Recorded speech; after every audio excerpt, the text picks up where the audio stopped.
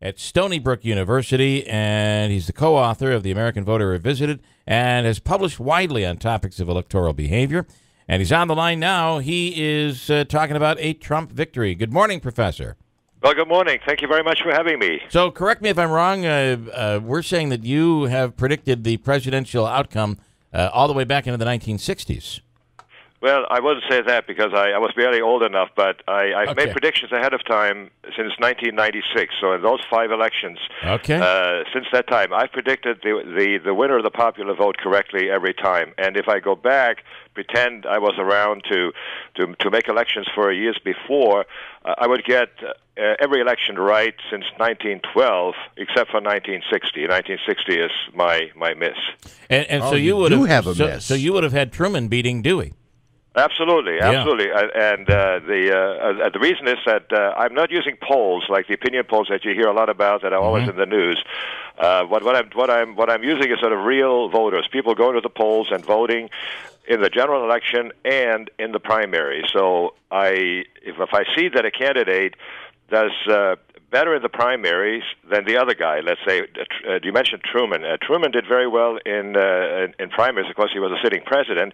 Uh, Dewey did not. Uh, so in my in my in my sort of estimation, that would have put a, a Truman ahead right away. But in those days, people weren't paying attention too much to to to those things. Right, right. And in this race, um, you're saying you have an 87 and 99 percent certainty that Trump will win the popular vote. Is that what? Uh, is that what? Yes, it's all about the popular vote, and the Got the eighty-seven percent would refer to uh, Trump being the candidate against Clinton. Uh, I made this forecast way back in March when it wasn't even clear who the nominees uh, would be. So Yeah. the ninety-nine percent would have been if uh, Trump had run against Bernie Sanders, which of course didn't happen. So for, for Trump, it's just eighty-seven percent. I, I wouldn't go much beyond that.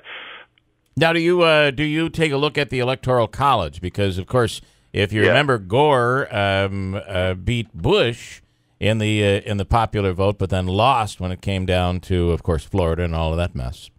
Yeah, you're absolutely right. I, I don't really have a a uh, an estimate and sort of a, a, a forecast for all the states that I could add up to, to the electoral college, say national uh, popular vote. But my my prediction is that uh, uh, Donald Trump will win by 52.5 uh, to 47.5 for Hillary. That's a five point lead that I I, I give him my uh, my my forecast, and if you get that much, uh, it would be almost impossible to lose in, in the electoral college. In in, Yeah. in 2000, the uh, the split between uh, Gore and Bush was something like uh, less than half a percentage point. point, and uh, if it's that close. It could happen, but as you mentioned too, it was uh, really more a matter of what happened in Florida, in uh, in sort of counting the ballots and and, and problems with uh, uh, sort of the, the chads and all all these things that uh, that made it difficult Yeah, to, yeah. to really establish what the count was. Can you imagine? I mean, you've got to be seeing out there that uh, the enthusiasm, we'll call it, of the Trump voter is uh, is is incredible. Uh, yet there's a, there's still a very strong enthusiasm for the, the Hillary voter, and I have a follow up on that. But uh, talk about uh, what you what you found out there. Well, I don't. I don't really. I mean, I sort of follow. I mean, the same thing you are doing. Yeah. I, I mean, I read about. Uh, and I see uh, sort of footage of rallies. Uh, and, and polls do show that that that, uh, that the Trump voters are more uh, energized and enthused. So, uh, I mean, that, that that that's a fact. I don't really have a way of of uh, sort of putting that into my my my uh, my formula. It's, it's simply sort of uh, what what happened in the primaries at a fairly early stage. So I, it's just New Hampshire and and South Carolina. Got it. I wanted to make a forecast early, so that's why I, I try to to use the early ones.